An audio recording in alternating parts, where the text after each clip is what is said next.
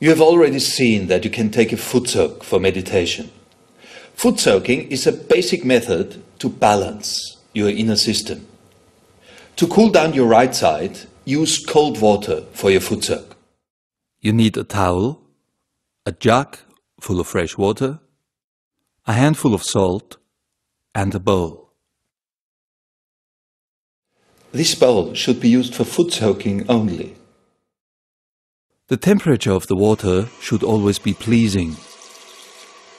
Make sure you have prepared the towel and the jug full of water beforehand. Add a handful of salt. It represents the earth element and therefore has a cleansing effect on the lower energy centers. Now, you can raise your kundalini and take a bandhan.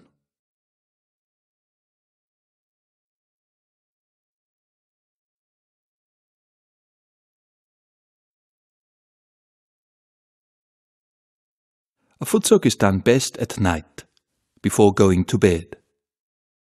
You will find that your quality of sleep is enhanced and your meditations are deeper.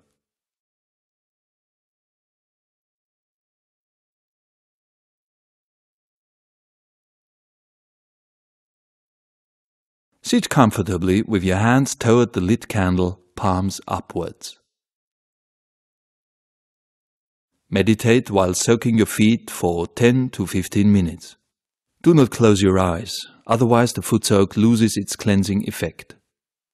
To finish the foot soak, raise your kundalini and take a bandhan. This protects your subtle body and preserves the state of meditation.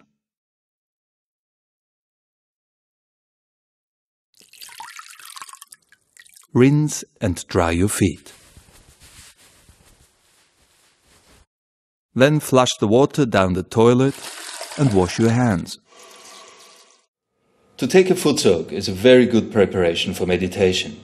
Actually, if you do it regularly, like brushing your teeth, it'll be most effectful.